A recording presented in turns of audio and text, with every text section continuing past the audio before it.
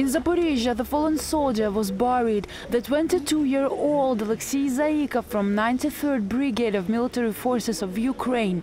Last Friday, he was killed in action in anti-terrorist operation zone. Just last week, Alexei came back home for a short rest. Family didn't want to let him go back to the front line, but he said he must come back to fight the terrorists.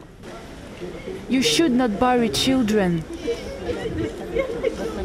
He fought his last battle in Volnovakha district of Donetsk region. Together with his comrades, he withstood the terrorists who attacked the 10th checkpoint of Ukrainian army. Six more Ukrainian soldiers were killed in that fight. 20 more were wounded. They say that locals could have leaked the location of Ukrainian soldiers to the terrorists. Там здал, сдало. Locals revealed our location. You see, tank fired. it was an attack. We always tried to explain to locals who are we, that we are no banderovцы, that we are no punishers.